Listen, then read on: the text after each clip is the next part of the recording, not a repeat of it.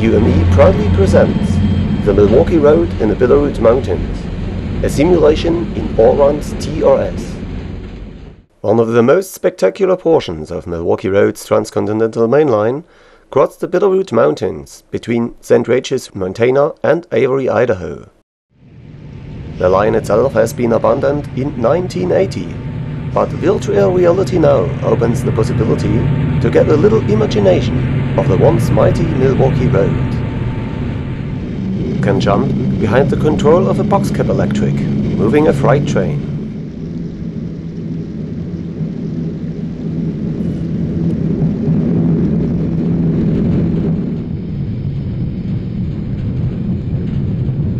or operate the legendary Olympian Hiawatha transcontinental passenger train along Milwaukee Road's main line by either quill-drive electric or Erie-built diesel power. Also a train travel as a passenger inside a coach, a sleeper, in a Superdome coach or in the famous Skytop lounge car is possible. Logging trucker can pick up logs beside St. Joe River and carry it down to Avery, where a Milwaukee Road train awaits its load. Or take a speeder and run the tracks for inspection or fire control. And last but not least, listen to the sound of the powerful Little Joes together as a tandem unit providing over 10,000 horsepower, or in combination with the SD40-2 diesels by common practice in the last years of electrification at the Milwaukee Road. Since the simulation reaches up over Lookout Pass, it is also possible to witness a train rolling through Mullan, Idaho, at Burlington Northern's ex-Northern Pacific's Lookout Pass line. But for now you may sit back and watch this little demonstration of train traffic over the Bitterroot Mountains, as it was more than three decades ago. Now a heavy freight train, led by three SD40-2 diesel locomotives from Washington State, approached Avery beside. Joe River. The train crosses Avery maintenance yards, the turntable and roundhouse, the big shed and the sand tower before it reaches Avery Depot. Since the main line between Avery, Idaho and Othello, Washington have never been electrified, all trains were pulled by either steam and diesel power between Montana and Coast Division.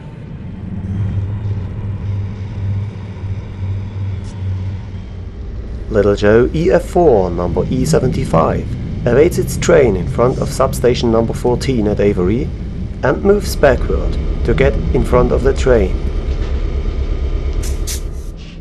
Safe behind the fence, the photographer is capturing the drama as the driver switches the control up into the 16th notch and the power units accelerate the train of 130 heavy loaded cars.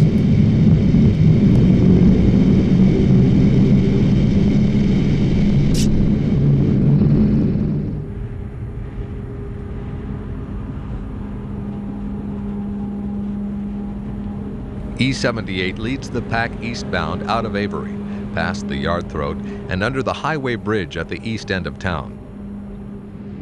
Now the train bends into the valley of North Fork of St. River, out of Avery.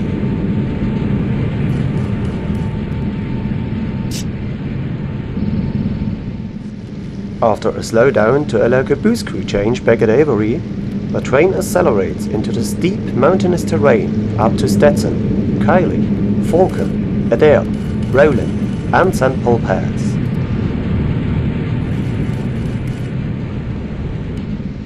The end of the train now was beside the Fire Patrol speeder shed, moves under the road bridge, and leaves Avery. We have been climbing a 1.7% grade since we left Avery, which will continue to Roland.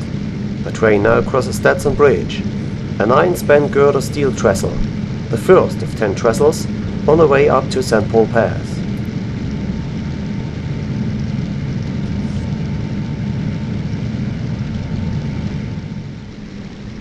Just out of tunnel number 32. The train crosses Big Dick Creek Trestle and negotiates narrow shelf.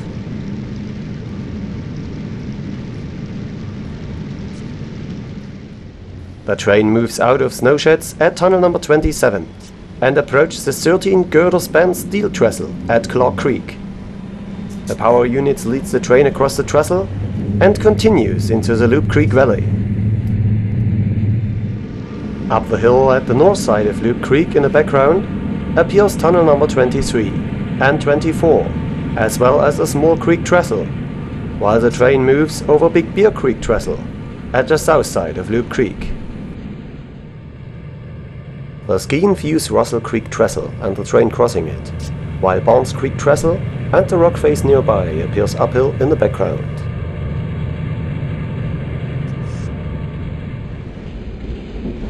The end of the train crosses Bear Creek Trestle, and the upper loop track can be clearly seen at the north side of Loop Creek. The photographer views from up Kelly Creek Trestle down to Turkey Creek Trestle crossed by the train now, which makes its way up Loop Creek Canyon south side. Out of tunnel number 26, the train crosses Loop Creek Road and dives into tunnel number 25.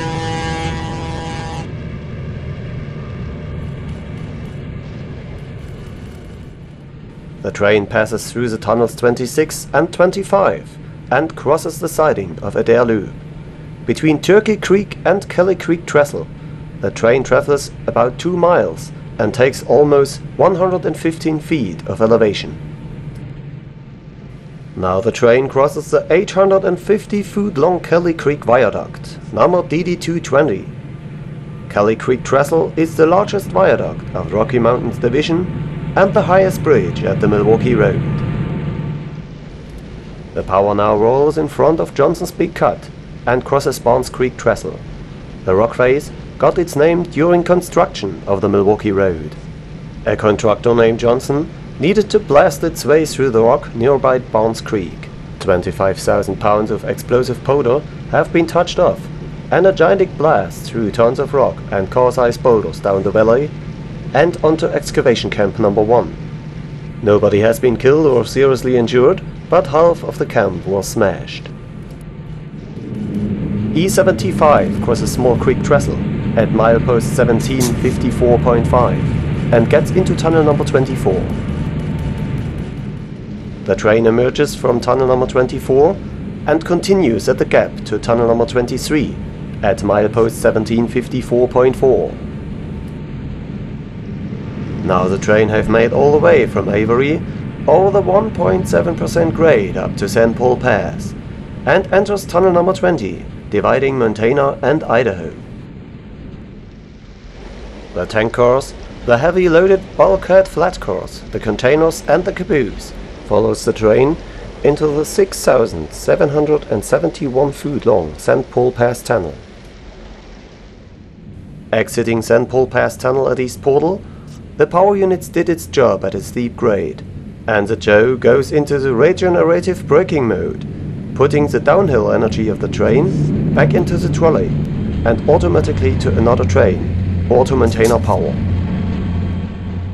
Now the train crosses Saltese Trestle, a 13 girder span steel trestle which remains in our days like all other Milwaukee Road trestles in the Bitterroot Mountains. It can be clearly seen from Interstate 90 at Saltese exit. The train speeds through Haugan, where boxcab helper number E29 is waiting for its next service.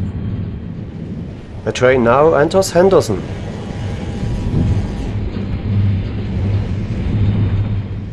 Now the Little Joe leads the pack along Drexel substation and continues east, via St. Regis, Missoula, Deer Lodge, Butte, the Pipestone Pass, the 16-mile canyon and Three Forks to Harlowton the east end of the electrified Rocky Mountain Division of Milwaukee Road's Puget Sound extension, and not yet part of this simulation.